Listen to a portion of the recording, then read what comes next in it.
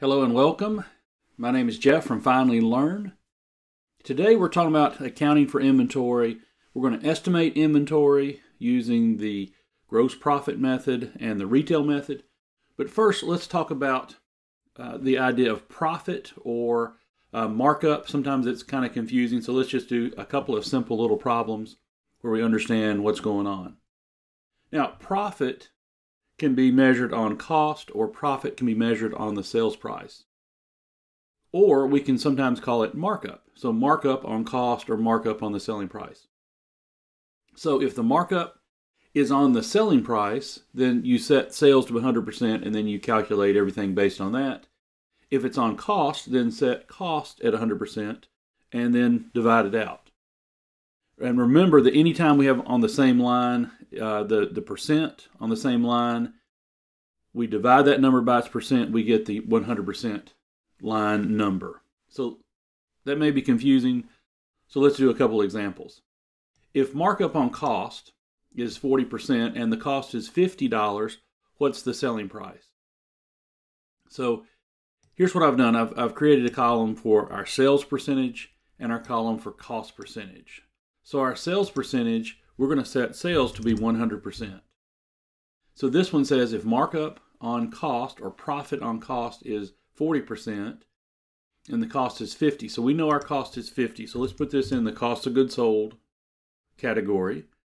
And we're going to make this cost 100%. For this column, let's make cost 100%. And if the cost is $50 and the markup on cost is 40, then that means we're going to have markup and profit are the same kind of terms, the same kind of idea. So if you if you think profit, you can think markup or vice versa. So what we'll have is this will be 140%. Should be 140 here. Yes. So this percentage is based on the cost being 100% because it's a markup on cost. So we're going to take the 50 times the 40%. So our markup or our profit is going to be 20. And therefore we say, hey, the 50 plus the profit of 20, we're going to make our sales price 70. So what is our selling price? Our selling price is 70. So that's our answer that we want. And we can do this over here. We can calculate the sales. If the sales are 100%, then 50 divided by the selling price of 70 is 71.4%. And then 20 divided by the original 70 is 28.6%. So in this example, we have markup on cost is 40%. That was given. But what would be the markup on sales? The markup on sales will be that 28.6%. That's the same question in saying, what is the profit on sales? Well, the profit on sales is 28.6%. Let's mark that. So, what's the selling price? $70. What's the markup on sales? 28.6. All right, let's flip it and let's give markup on sales is 40% rather than markup on cost. So, problem two so let's say the markup on sales is 40%. Now we know in this case that's going to be the 100%. And we're going to make the 40% the profit. Let's say the sales price is $80. What is the cost per unit? What is the cost per unit? Well, we know that 100 minus the 40% is going to give us 60%, right? So we're trying to figure out what's the cost. So the cost is going to be $80 times 60%. And $80 times the 40% gives us 32. Certainly we could have subtracted 80 minus 48 gives us 32. So if markup on sales is 40% and the sales price is 80%, what's the cost per unit? The cost per unit is the $48. So in this example, let's ask another question. What is the markup on cost? Well, what you want to do on the markup on cost is you want to figure out, well, in this case, the cost would be 100%, or just simply, you don't have to do all the, the math on it. You can say, well, what is 32 divided by the cost? So markup on cost is profit divided by cost, or markup divided by cost. So this is going to be 66 and two thirds, so 66.7%. And that is our markup on cost. So in this case, the cost would be 100%, and the 80 divided by the 48 would be 167%, or simply add these two together. So when we do a percent on sales, or a, a profit on sales, or markup on sales, sales will be the 100%.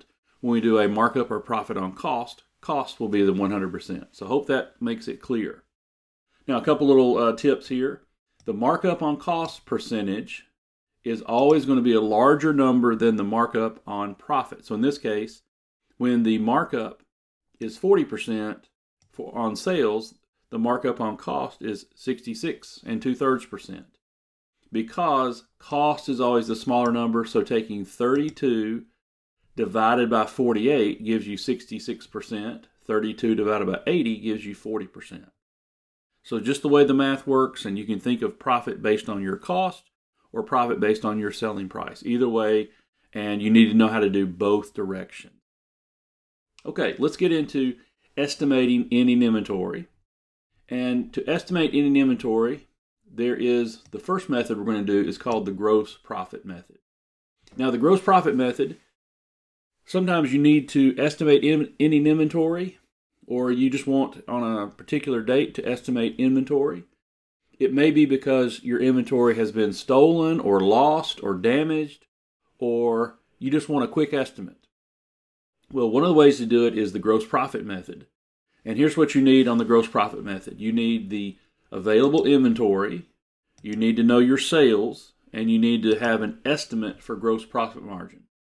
So let me put here this is the estimated gross profit margin. The estimated gross profit margin is what you um, typically have had over the last several months or last several years. And so that's a number we don't automatically know from our accounting records. We're going to have to estimate. It has been this in the last several years, and we're going to estimate uh, using gross profit. Now, if you change that number, then it changes your estimate a little bit. All right, so let's look at a problem with this information. A company has a fire that destroys its inventory, so we can't count the inventory. We have to estimate. Beginning inventory is 60,000 and purchases are 310,000. Sales are 420,000 and gross profit margin is usually 40%. So we're going to use estimated gross profit margin is 40%. So what is our estimated inventory? Well, we know that sales are 420. I would use these formats uh, 420,000 rather.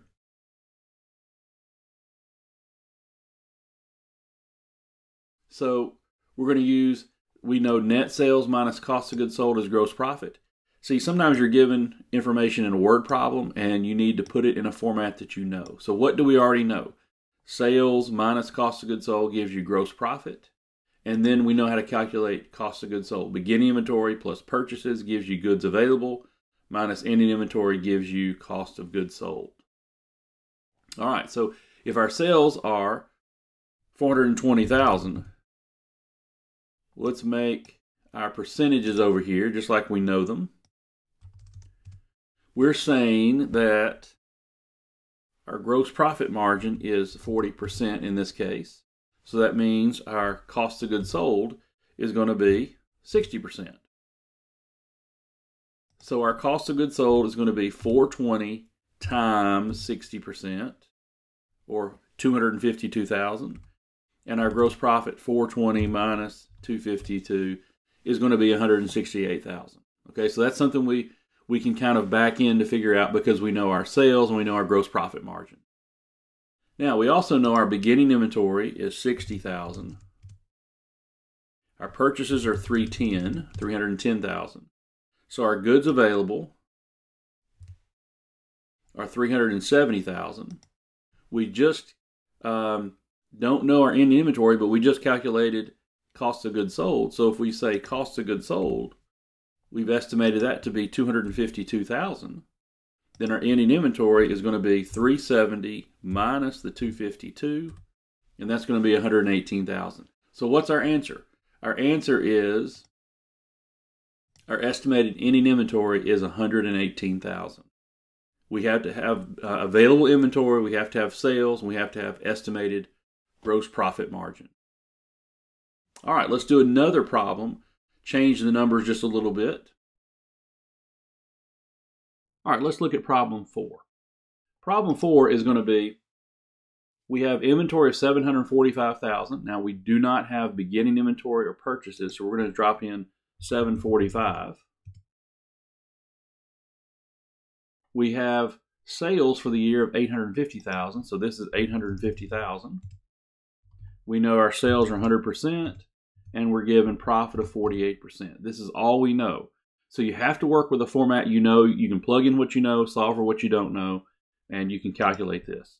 So 100% minus the 48 means our cost of goods sold. Whoops. Our 100 minus the 48 means our cost of goods sold is 52%. So 850,000 times 52% is 442,000. We can subtract out the 850 minus the 442 and get our gross profit.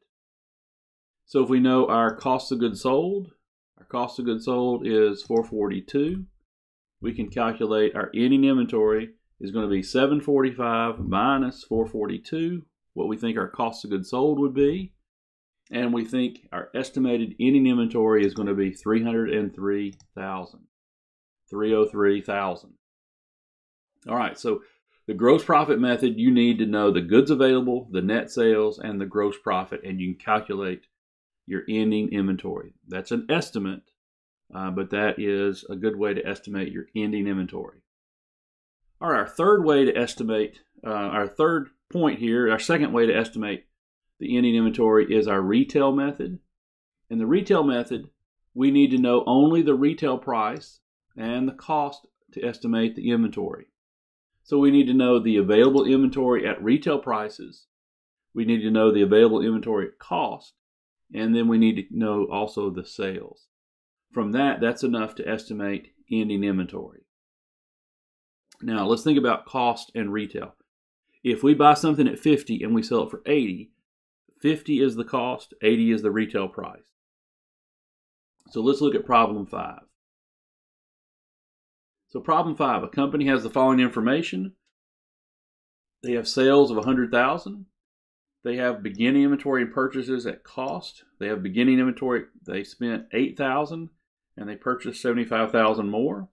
They're going to sell it at 12,800 and 120,000. That's the retail prices of those levels of inventory. So let's just plug in what we know. And here's what I would do. I would create a little chart just like this. And so the cost, beginning inventory cost is 8,000. The purchases are 75,000. And so the total available in terms of the cost is 83,000. Now the retail would be 12,800 for that beginning inventory, 120,000 for the uh, purchases at retail prices, and so, what's our total retail uh, of goods available? Well, it's 132,800.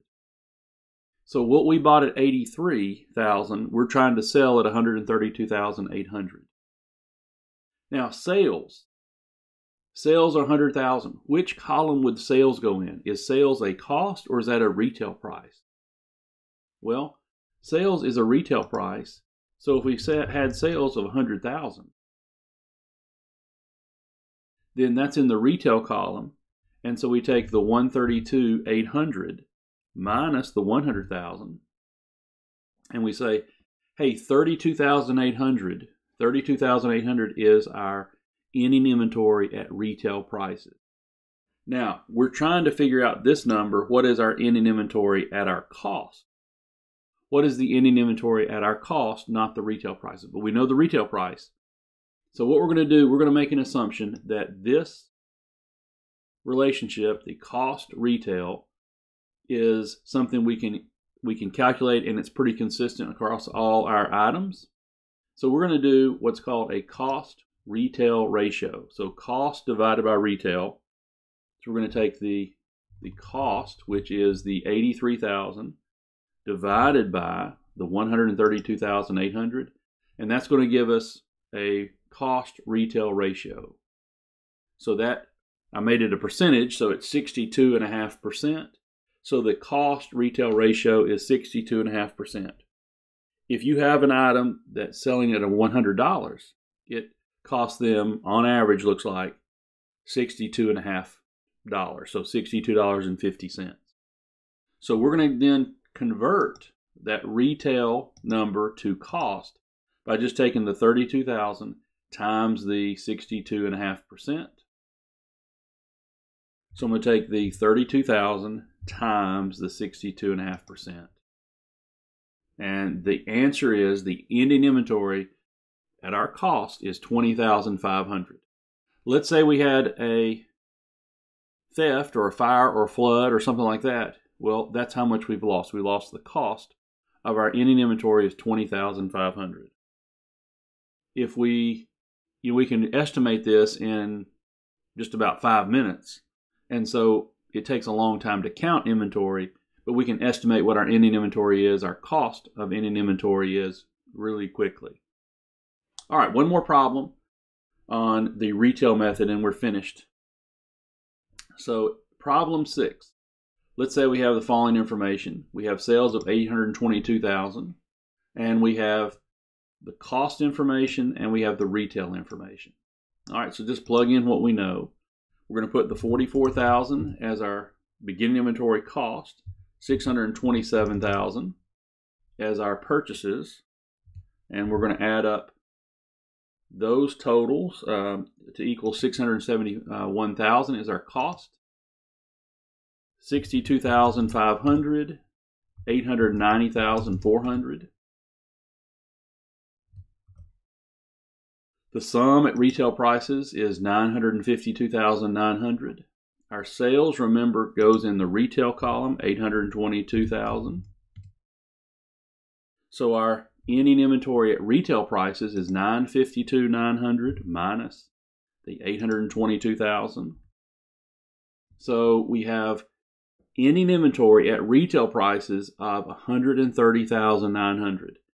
Now, ending inventory at cost is going to be less than that because remember, we need to do the cost retail ratio. So we're going to take the cost divided by the retail prices. We're going to get a cost retail ratio. Now, this could be a decimal. I just put it as a percentage, kind of thinking about it. So this number could be many, many decimals. So I'm showing it as a percent. You can show it just as a decimal. If you do, then show it as four decimals, so you can calculate that. So you don't have you have less of a rounding error. It's an estimate, but hang on to about four decimals. Uh, you can make it a percent. If you do, then it's not exactly 70%. It is 70.42% or 0.7042. So to convert it to retail, from retail to cost, we're going to take the 130,900 times the 70 0.42%, which is 0.7042. You see, I have a calculation here to show you how to do it in case you forget. So let's multiply. So our estimated ending inventory at cost is 92,175. All right, that's how you estimate ending inventory and also how to calculate markup on cost and markup on sales price.